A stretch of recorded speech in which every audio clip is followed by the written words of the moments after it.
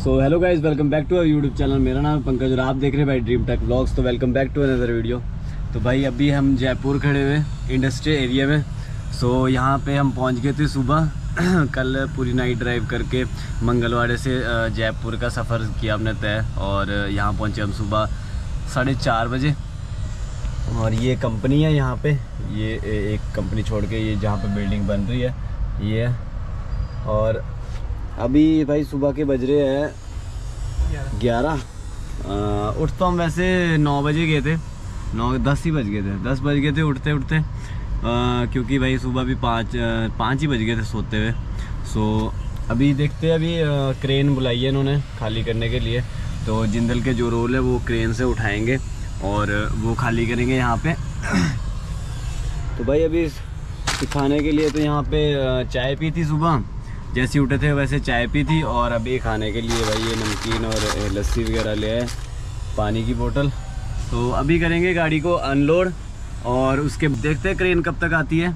और आज का भाई पूरा दिन अगर ख़राब नहीं होना चाहिए क्रेन जल्दी से जल्दी आ जाए क्योंकि हमने भी यहाँ से निकलेंगे तो ही पहुँच पाएँगे भाई लोडिंग करने के लिए कहीं पे। सो देखते कब तक आती है क्रेन। तो भाई गाड़ी हो रही है अनलोड अपनी। धीरे धीरे। ये कंपनी है इधर। एक एक करके जाएँगे इसमें अंदर। और शायद टाइम लग जाएगा इसमें। देखते हैं कब तक खाली होती है। और चाय पैरी के बगैर तो मानेगा नहीं है। ये भाई साहब। गूगल पे भी इसमें लगा रखा है। स्कैनर स्कूनर ये कैश के लिए कोई मना करे तो ले सीधे गूगल पे करो। तो अच्छा है यार यहाँ पे इंडस्ट्री एरिया है सारा पेड़ वगैरह एकदम प्रॉपर प्रॉपर है मतलब बहुत साफ़ सुथरा है। ठीक है मतलब इतना गंदा नहीं है दिल्ली की तरह नहीं है। और ये भाई कहाँ ले जा रहे हैं इसमें अंदर? अभी बनी रही है वाली बिल्डिंग तो ये भाई पापड़। क्योंकि भाई खाने का सामान तो हमारे रहते रहता है। क्यों पाजी? खाओ पियो करो नंद। भांडे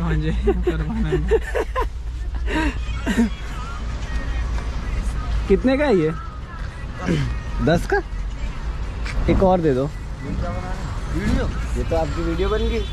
ये तो हमारी खाली। और जो भी आता है यहाँ पे मतलब कुछ भी बेचता है तो हम ले ही लेते हैं। क्यों भाई जी?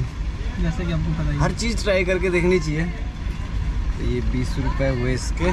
सेठ को क्यों पहुँचाएँगे? अच्छा। यूट्यूब पे डालेंगे ना आपकी वीडियो? बढ़िया। ठीक है। क्या बोलते हैं इसे? पापड़। पापड़।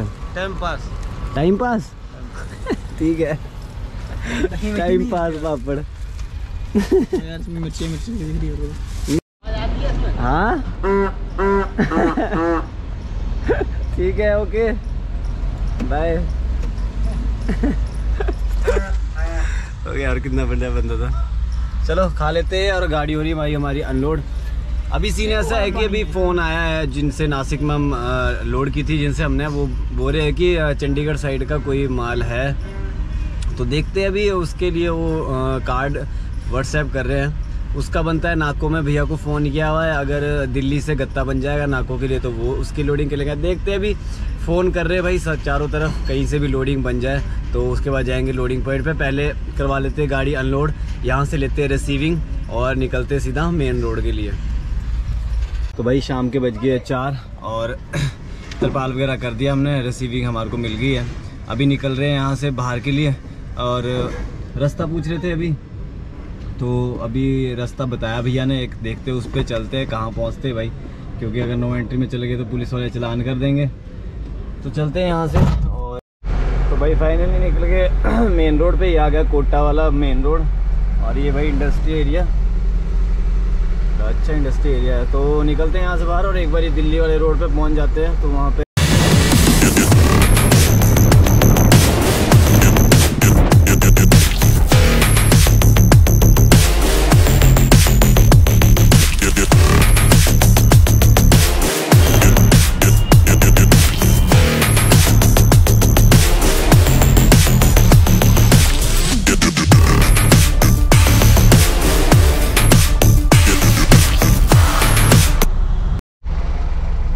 तो अभी रुके आइसक्रीम लेने। मैं कहा थोड़ा सा ठंडक पाते भाई गले को। थोड़ा ठीक हुए तो खाने पीने में ज़ोर दिया हुआ है फिर से। क्योंकि भाई कमज़ोर हो गया मैं भी। क्योंकि बीमार हुआ तो भाई कमज़ोरी सी आ गई है शरीर में। तो अब तो भाई दबा के खा रहा हूँ। मतलब फिर से वही स्ट्रेंथ गेन करनी है। सो अभी हम यहाँ से निकलने वाले बाहर को। ये चार किलोमीटर दिखा रहा है यहाँ से। जब हम यहाँ पहुँच जाएँगे इस पॉइंट पे तो ये हो जाता है यहाँ से बाईपास स्टार्ट आके बटर स्कॉच लाऊं और नहीं इसके बाद कोई तगड़ी जी? और है कुल्फी है और क्या कहते हैं? कुल्फी ले आओ पे हाँ। तो आ गई भाई अपनी वाड़ी लाल की राजभोग कुल्फी हाँ? बढ़िया ओके रिपोर्ट। दशहरे की जो तैयारियाँ वो जोरों शोरों से चली हुई है। ये देखो भाई यहाँ पे बन रहे हैं सारे रावण ही रावण। रावण, उनके भाई सारे। इनको मिला हुआ है ठेका है यहाँ पे। ये देखो भाई कितने सारे हैं। दिखाइए पाजी, दिखाइए क्लोज से दिखाइए।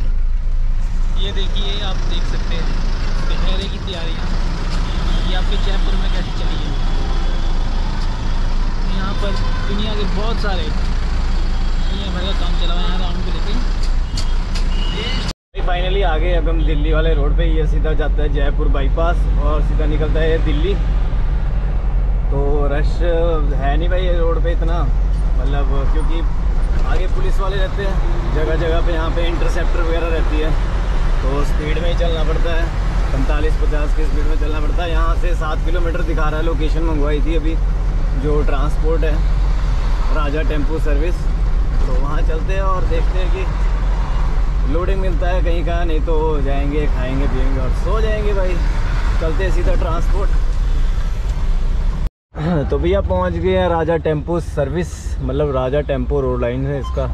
यहाँ पे सामने ही एक शीशो वाला ऑफ़िस है नीचे, और यहाँ पार्किंग में लगा दी भाई गाड़ी। तो अभी चलते और खाते कुछ। भाई पानी पूरी खाने का बहुत मन कर रहा है, क्योंकि काफ़ी टाइम से मैं बीमार था तो कुछ खाया ही नहीं था यार। मतलब खाना भी नहीं दो दो दिन से खाना भी नहीं खाया हुआ था। जब बीमार था तो अब तो भाई चलते हैं यहाँ पर यहाँ पे देखा था मैंने अभी थोड़ा सा पीछे। वहाँ पे अ, पानी पूरी है खाने के लिए तो चलते हैं वहाँ पे और नंबर लिखा दिया है। अब फ़ोन कर ली कर ही लेंगे। तो चल तो ये भाई फ्लाई ओवर के नीचे यहाँ पे पानी पूरी अभी खाएँगे पानी पूरी और है तो यहाँ पे छोटा सा ही है। तो खाना खाने के लिए शायद इसमें यहाँ पे होगा होटल पे। ऐसे ही घूम रहे हैं, यहाँ पे भी पार्किंग है बाहर जिसने लगानी हो। तो देखते यार, अभी चलते हैं गाड़ी पे और करते हैं भाई रेस्ट क्योंकि पूरा दिन वहाँ पे गर्मी में भाई ऐसे बुरे हाल हो गए थे। तो चलते अपनी गाड़ी पे, और भी लगी हुई है, यहाँ पे एच पी नंबर गाड़ियाँ, दो तीन गाड़ियाँ यहाँ पे लगी हुई। तो भाई शाम के बज रहे साढ़े छः, और ब्लॉग कर लेते भाई एंड क्योंकि इसके बाद अंधेरा हो जाएगा। खाना खाने के लिए यहाँ पे बैक साइड पे होटल। और शायद कल नंबर आ जाए पंजाब लाइन को। तो आई होप भाई आपको वीडियो पसंद आ रही हो। और कोई आपने भाई अगर सुजेशन देना हो, किसी टॉपिक पे आप वीडियो चाहते हो या किसी गाड़ी से रिलेटेड कोई कुछ भी आप पूछना चाहते हो तो भाई कमेंट सेक्शन में ज़रूर लिखा करो। और कोई आपके सजेशन हो, वो भी भाई कमेंट सेक्शन में ज़रूर आप मेंशन मैं ज़्यादा से ज़्यादा भाई रिप्लाई करने की कोशिश करता हूँ। वैसे आपको पता ही है भाई सफ़र में रहते हैं तो फ़ोन वगैरह ज़्यादा मैं देखता नहीं हूँ। क्योंकि सफ़र निकालना पड़ता है, अकेला हूँ तो और वीडियो शूट भी करनी पड़ती है, फिर वीडियो भी डालनी तो सॉरी यार भाई, जिनको भाई रिप्लाई नहीं कर पाता टाइम से। सो मिलते एक नेक्स्ट व्लॉग में भाई।